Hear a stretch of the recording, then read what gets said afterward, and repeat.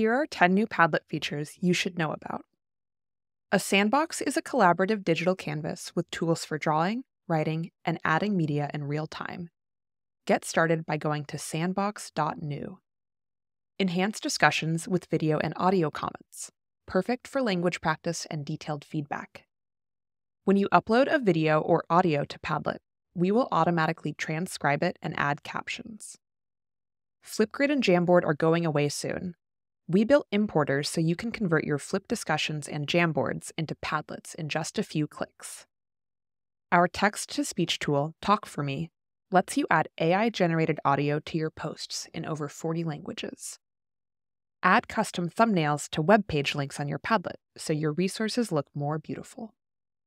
Unregistered contributors will now be assigned an avatar and a unique changeable name without needing to create an account. Schedule your Padlet to freeze or unfreeze up to a year in advance. Easily grade student posts from your Padlet. Padlet for Schools users can use Grade Passback to sync grades to their LMS.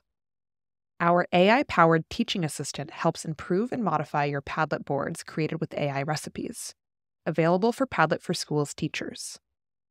What features would you like to see next? Contact us through our website or on social media at Padlet to share your thoughts.